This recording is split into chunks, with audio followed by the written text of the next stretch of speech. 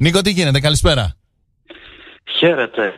Φτιάχνουμε, Ετοιμαζόμαστε. φτιάχνουμε γήπεδα εδώ στη Θεσσαλονίκη. Ε, ετοιμαζόμαστε, μάλλον Ναι. δεν φτιάχνουμε. Μισό λεπτό, εντάξει, λάθος. Λάθος. Ναι. Ετοιμαζόμαστε να φτιάξουμε γήπεδα και Επί ξέρεις, χάρτου. είναι καινούριο αυτό και όπως λέω εδώ και αρκετό καιρό, προσπαθώ έτσι. ε, ε, Δεν ξέρω πώς να το διαχειριστώ όλο αυτό που γίνεται. Γιατί έχουμε ανοιχτό μέτωπο και με τον Πάο και με τον Άρη. Για ποδοσφαιρικά γήπεδα, για, το μιλάμε για ε, υπερσύγχρονα πράγματα. Έτσι. Ήρθε, ήρθε η ανάπτυξη, αυτό βλέπω. Ήρθε η ανάπτυξη στη Σαλόνικα. Γήπεδα μπάσκετ έχουμε. Έχουμε γήπεδα Με μπάσκετ. το, έχουμε. με το καλό και μετρό, αν μου επιτρέψετε την πηχτή δεκαετιών. Έχει τώρα. Γιατί; Ξέρεις πόσα έχουμε εδώ; Έτοιμα είναι. Έχουμε βάλει και τα βαγόνια κάτω. Έτοιμα είναι. Κάτω, ναι, έχουμε βάλει και τα Εντάξει. βαγόνια. Εντάξει, την επόμενη φορά που θα έρθω θα κοιτάξω να το πάρω για να Από- κατέβω στην πόλη. Από πότε έχεις να έρθεις στη Θεσσα- ε, Θεσσαλονίκη; Ε, από την ε, παρουσίαση του πρώτου βιβλίου μου, ε, το οποίο πρέπει να έγινε πριν από 3-4 χρόνια. Μετά έσκασε και η πανδημία, αλλά αυτό είναι δικαιολογία, το ομολογώ. Δεν είσαι. Έχω καθυστερήσει πολύ. Ε, ναι, τώρα. Δηλαδή, εντάξει. Έχω καθυστερήσει. Εμεί- Βέβαια δεν βοηθάει και το μπάσκετ, για να είμαστε τίμοι. Δεν βοηθάει. Γιατί κάποτε έδινα αφορμές για να ανεβαίνουμε και με δικά μας έξοδα δις εβδομαδιαίως. Δεν Ε, βοηθάει. αλλά τώρα ναι, μόνο στο πρόσφατο μάτι της Εθνικής με τη Λευκορωσία θα μπορούσα να ανέβω με αφορμή μπασκετική ισχυρή. Τέλος πάντων.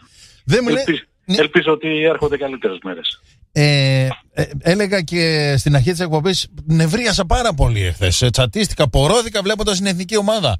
Τα, ε, επίτρεψέ μου Και την γιατί έκφραση, νευρίασες; γούσταρα πάρα πολύ την εθνική ομάδα. Νευρίασα γιατί δεν κερδίσαμε. Νευρίασα γιατί δεν μας έδιναν, τα, μας έδιναν το φάουλ, τα φάουλ με πολύ δυσκολία, ρε παιδί μου. Έπρεπε να μας δίνουν για να μας δώσουν φάουλ. Ξέρω εγώ, ένιωσα αδικημένος εχθές βλέποντας την εθνική σε κάποιες φάσεις. Ε, Εγώ προσπαθώ να την αποφεύγω αυτή τη συζήτηση ε, συστηματικά σε όλη μου τη, τη αργέρα, τη ζωή.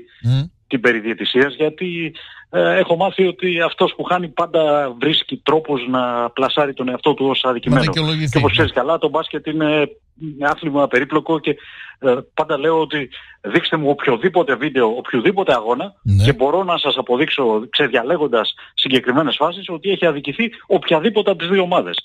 Ε, είναι Δεν θα διαφωνήσω. εύκολο, Ναι. να, είναι εύκολο να πουλήσεις ε, αυτό το αφήγημα όποιος και αν είσαι, σε όποιο μάτς και αν διαλέξεις. Ε, Έτσι. η αλήθεια είναι ότι δεν περίμενε κανένας ε, κάτι διαφορετικό στο συγκεκριμένο μάτς και φοβάμαι αν πρέπει να κάνουμε αυτή τη συζήτηση ότι ε, στη διαιτησία θα, με τη διαιτησία θα έχουμε παρατράγουδα στο Ευρωμπάσκετ Άρα, το οποίο πάει κυρίως από το γεγονός ότι ε, ουσιαστικά η FIBA έχει αποκλείσει τους ε, ε, διαιτητές που παίζουν στην Ευρωλίγα.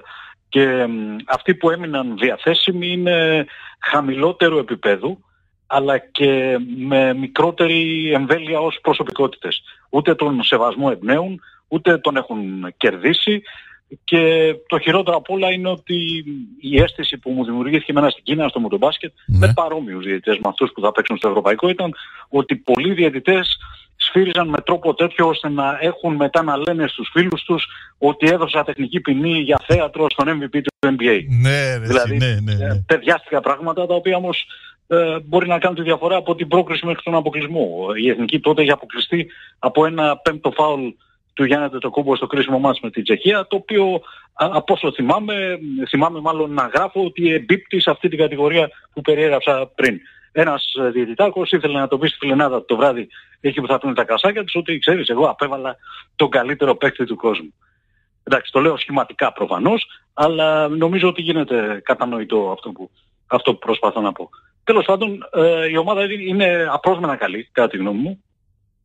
Τηρουμένων Είναι όλων απρόσμενα λες, ε; των αναλογιών. Απρό, απρόσμενα, δε, αν βάλει κανείς μέσα στην εξίσωση τις απουσίες της, τα προβλήματά της και μ, τις χαμένες προπονήσεις βασικών παικτών, την ανάγκη για διαχείριση του Γιάννη Αντετοκούμπο που τον κράτησε έξω από τα μισά φιλικά, ε, το γεγονός ότι έχει καινούριο προπονητή και δεν είναι και τόσο εύκολο να περάσουν οι περίπλοκες ιδέες του Ιτούδη ε, σε παίκτες μέσα σε λίγες μέρες, ε, το γεγονός ότι βασικά γρανάζια ε, δεν έχουν παίξει μαζί. Για παράδειγμα, ε, έχει, υπολογίσαμε ότι έχει παίξει ελάχιστα ο Σλούκας μαζί με τον Γιάννη.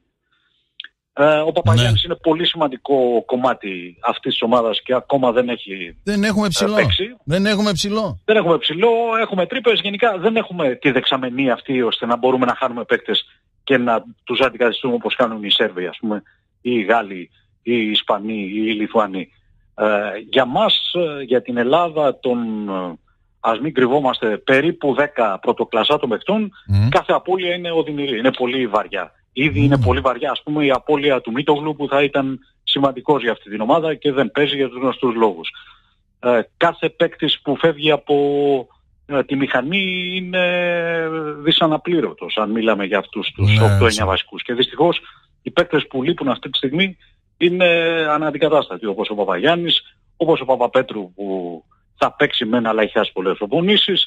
Χτες γύρισαν, σήμερα μάλλον γυρίζουν από τη Σερβία τραυματίες ο Σλούκας και ο Αντετοκούμπο, ο Κώστας, οι οποίοι θα πρέπει να κάνουν μαγνητική και όλα αυτά συμβαίνουν ακριβώς μια εβδομάδα πριν το τζάμπολ. Ε, οποιοδήποτε από αυτούς και αν λείψει θα είναι τεράστιο το πρόβλημα. Playmaker έχουμε, Νίκο; Έχουμε δύο πάρα πολύ καλούς, τον Νίκ Καλάθη και τον ναι. Κώστα Σλούκα. Πάρα πολύ καλούς ναι. για ελληνικό πρωτάθλημα, Ευρωλίγκα; Για... Όχι, όχι, όχι, πάρα πολύ καλούς για, ευρωπαϊκή, για ευρωπαϊκό επίπεδο. Για ευρωπαϊκό. Ε, δεν είναι στην καλύτερη τους κατάσταση. Mm. Ε, ο Σλούκας ε, που δεν είναι ιδιαίτερα αθλητικός ούτε ιδιαίτερα δυνατός τις νιώθει τις προπονήσεις που έχει χάσει. Έμεινε έξω μια εβδομάδα περίπου mm. ε, προημερών, τις μέρες των φιλικών με την Ισπανία στα οποία δεν έπαιξε.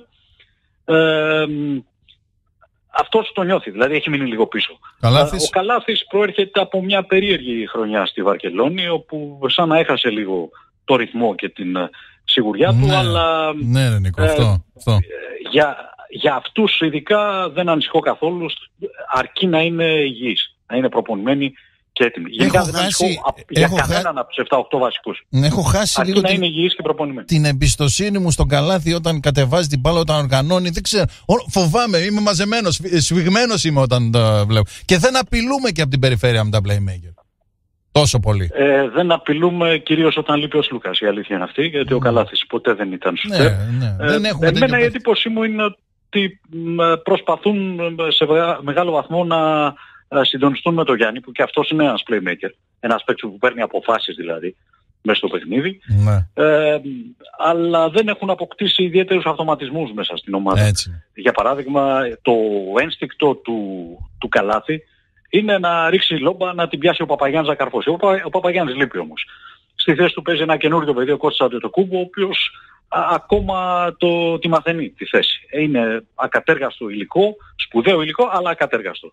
Ε, νομίζω ότι είναι μόνο θέμα ρυθμού το, το του καλάθι που πάντοτε είναι ε, από τους διακριθέντες στην εθνική ομάδα. Έτσι. Το θέμα του Σλούκα πιο πολύ έχει να κάνει με τις χαμένες του προπονήσεις και τον τραυματισμό του. Γενικά, το ξαναλέω, δεν ανησυχώ για κανένα από τους βασικούς παίκτες, αρκεί να είναι ετοιμοπόλεμοι και υγιείς.